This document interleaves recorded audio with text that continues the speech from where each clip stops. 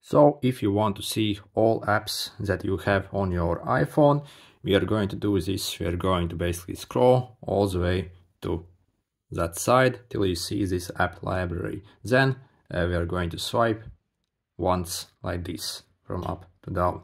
So, and we can see all the apps we currently have on this iPhone. These are all the pre-installed apps as well as some that we have downloaded. So this is how we basically access the app library. Here, uh, when there's actually another way we can see uh, all apps we have downloaded on this phone by going to the app store here and then clicking on this right side your button basically here. Then we're going to click on purchase it. It doesn't mean we have purchased actually them it just means we have downloaded. So these are all the apps basically we have on our phone that we have downloaded.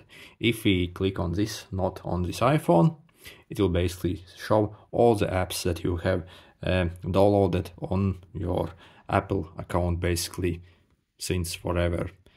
So uh, yep this is how you check all the apps on your iphone and this works on pretty much all iphones. If this was helpful make sure to hit the like button. See you